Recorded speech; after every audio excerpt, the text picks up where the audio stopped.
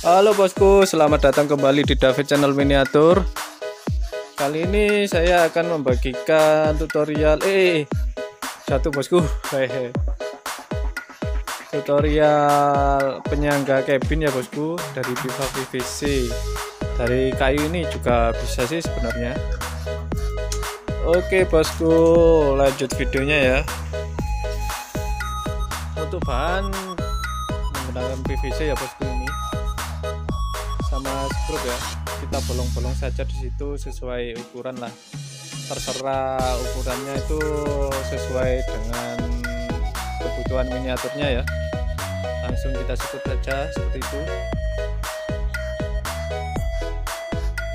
Fungsinya seperti ini bosku ya bisa nukuk-nukuk seperti ini. Hampir sama dengan engsel jendela ya bosku sikutan jendela itu ya.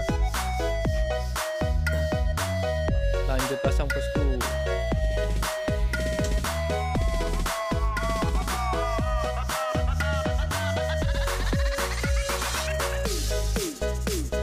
selesai bosku. Terima kasih sudah menonton. Jangan lupa like comment dan share serta subscribe bosku.